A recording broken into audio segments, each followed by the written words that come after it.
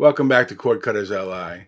In this video, I'm going to show you how to fully install the latest, most recent, stable version of the Media Player Kodi on your Amazon Fire Stick or Android TV streaming device.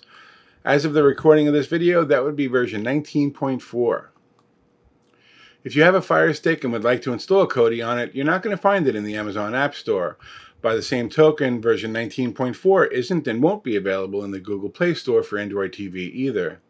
You could go right to the Kodi website and get it, but like a lot of open source app developer websites, it can be a little intimidating to find precisely what you're looking for. Well, I've taken all the guesswork out of finding and installing Kodi version 19.4. I'm going to show you step by step how to do it. No muss, no fuss, no greasy aftertaste. So if you're ready to learn how to install Kodi Media Player version 19.4 on your Amazon Fire Stick or Android TV streaming device, grab your remotes and let's go. If you're new to Cord Cutters LI, where we try to help you save money on your cable bill, please click that subscribe button and hit the notification bell. Doing this will make sure you don't miss out on any new videos as they come out, and it helps to support the channel. Put your remotes down for just a moment while I get this out of the way for YouTube's sake. This video is intended to show you how to install this media player on your streaming device. It may do a better job of it, but it's no different than any media player by definition. Just like Microsoft Media Player, for example, or even a web browser. You can play your own media with it, you can access media with it. I am not showing you how to get free movies with it. I am not showing you how to get free sports with it. I'm not even showing you how to get anything free with it. I'm showing you how to install a media player called Kodi version 19.4. So with that in mind, pick those remotes back up and let's get ready to learn. Okay, so like I said earlier, you can't get Kodi from the Amazon App Store. But there is an app that you need and a setting that we need to change before we can get Kodi from the Cord Cutters LI downloads page. So from home, move over to the magnifying glass, go down to search, and start typing in the app that we need called Downloader. As soon as you start typing it, it'll pop up because it's a very popular app. Click on Downloader, and then again, and as you'll see here, it says, in my case, it says download, you own it. If you've never downloaded Downloader before, it's going to say it's free, go get it. So let's go ahead and click on that and let that install. Okay, so after it's installed, we're not going to go into it right away. We do need to change a setting first. So now let's move all the way over to the gear, go into that, and go down to My Fire TV. Go to developer options. Now, if you don't see developer options, don't worry. It's probably because you have a brand new Fire Stick or you've updated it recently. I've made a video recently that shows you how to get that back, and I'll put a link in the description so you can get there. So let's assume that you now have developer options. You go into that, go to install unknown apps, and move down to downloader and make sure that that says on, and we'll change it like that. Now we're ready. So hit the home button. Downloader is most likely an app that you're going to use a lot. So let's go ahead and put that up on this favorites bar here. So it'll be easy to get to next to these other popular apps. So hold in the home button for a moment and then move over to apps. The last app installed is always going to be at the bottom of the list. And the easiest way to get to that is to move to the left. There you see downloader there. So if you hit that hamburger button on your remote, you can scroll down to where it says move to front and then you can click home. So as you can see now, Downloader is at the top of the list on your favorites bar so you can get to it really easily. And you can move it down the list a little bit later if you want to. For now, let's go ahead and open it up. Click Allow. This is a one-time thing. And click OK. Now, up in this box where it says enter a URL or search term, you'll want to enter the short code for the cordcuttersli.com website. And that is 89364. Go down and click go. That's going to redirect you, as it says, to cordcuttersli.com.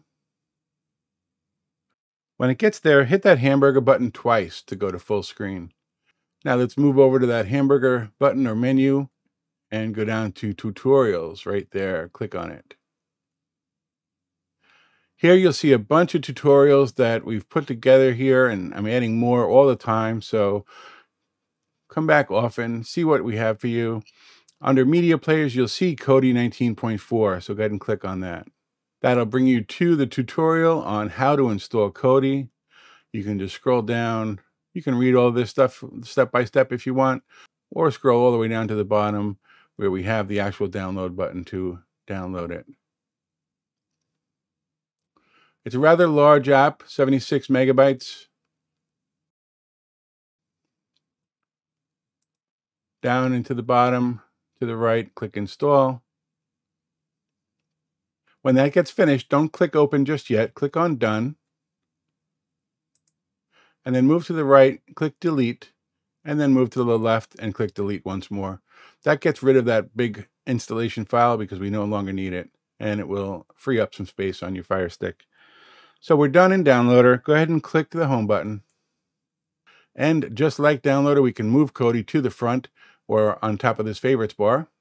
Let's hold in the home button, move over to apps, move to the left to find Kodi at the bottom of the list. Press the hamburger button and then say move to front. And there you go. The two questions I get asked most by new cord cutters are, do I need a VPN and which VPN is best? The short answer to both of those questions is it depends. If you're someone who takes their privacy seriously and enjoys unofficial streaming apps or torrenting, you should use a VPN to keep your information encrypted and private. The VPN I recommend depends on where you live. If you're here in the US like me, I'd suggest trying IPVanish. It's the fastest and helps minimize buffering. While here in the United States, where nearly everything is available, unblocking content isn't as important. If I were outside the US, however, I'd suggest ExpressVPN. I feel it does a better job at ungeo-blocking the content available here in the US while you're not. In either case, if you're in the market for a VPN subscription and would like to try either one, you'll find links in the description below for the best price you'll get anywhere. Clicking on these links also helps in a small way to support the Cord Cutters LI channel.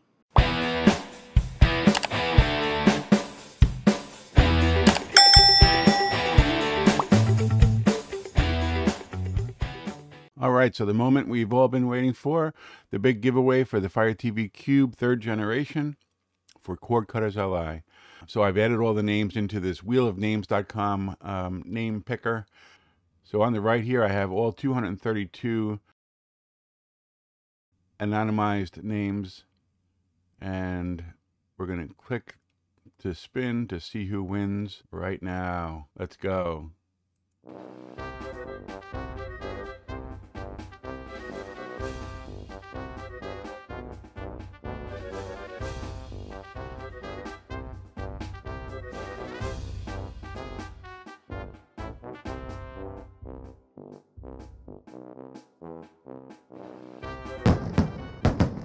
Okay, and the winner is Todd.